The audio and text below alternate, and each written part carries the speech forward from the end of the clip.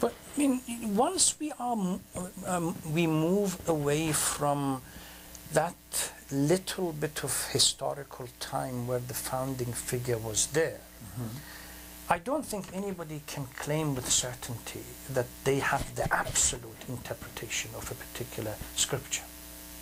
So perhaps what we're looking for in human development is a relinquishing of certainty? But no, as indirect, the discussion that we have had so far becomes an indirect way or framework to, uh, to, to see whether we are moving towards the right, I mean, we have the right approach to get certainty or uh, in, uh, to be sure of it. To use the metaphor of growing up, children want to know their world is safe. They want their parents to have the answers. They want to know what right and wrong is in simple terms. As we become adults, we suddenly find ourselves in this place of having to do discernment and wrestle with questions and, and what are sometimes called gray areas where it's not black and white and we have to make choices. And so in a sense, uncertainty and adulthood are inseparable. Yes. With maturity, not with adulthood, with, with maturity. maturity. With maturity is insep- they are in- inseparable. And for people who would, would say, well, uh, we need certainty and we cannot live without certainty, then obviously the literal interpretation would give them the answer that they are looking for. But for others who would say, look, once we move away from that small historical time where the founding f- uh, figure was available that you could go to, from then onwards, it's a matter of degree of uh, uncertainty. Okay. Uh, but at the same time, we are required to do everything possible to reduce the probability of mistake. Yes, between the zero and one continuum, I, the goal is one, but I know I cannot reach it. If the, the, the founding figure was available, I might have gone to the founding figure and said, okay, explain yourself and uh, reach a certainty. In between, my responsibility is to reduce the probability of mistake. My suggestion would be that it's kind of a, well, uh, the word that comes to mind is a bell curve, but it's um, basically that we start out with a certain kind of certainty in childhood.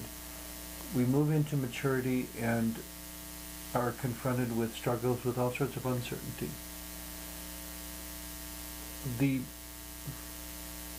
if, if this is a legitimate way to describe it, the mature adults whom I've met, uh, mature in their thinking and in their emotions, have moved through that uncertainty to a place of new and deeper certainty.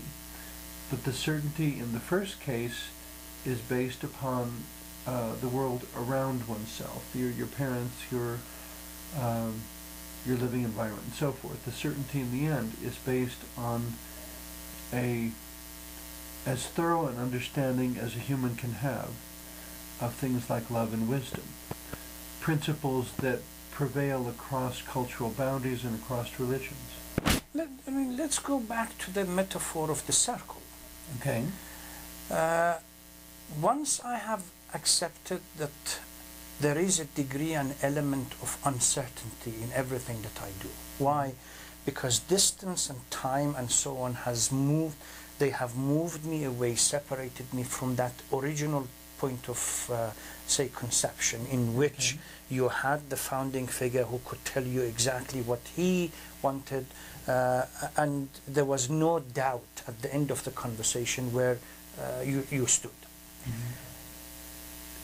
This, yes, there is a degree of uncertainty, but this metaphor of moving towards the center and collective movement can become the criteria by which I use to reduce the probability of mistake.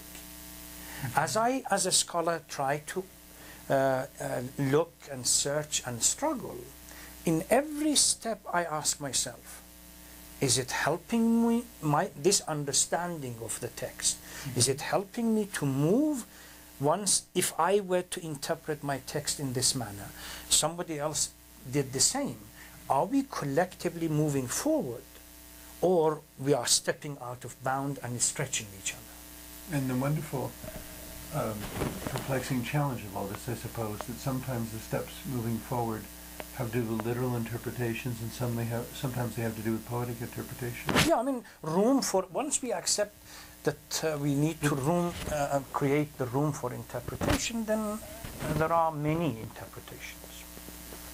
And none of them should be judged as inherently right or wrong. no, yes. But final thoughts as we wind up our, our brief little discussion? I mean, I know we've only scratched the surface again, but hopefully we've given people plenty of things to think about. Yeah, I think every every every step that we take, if we ask ourselves, is this helping in bringing harmony uh, to the world that we live in and making even mini, uh, uh, mini, uh, minuscule difference uh, to, towards the betterment of everybody else, then we are on the right path or approach. Well, thank you very much for the insights you've shared. Thank you very much for I really appreciate having you as a on my show. Thank you.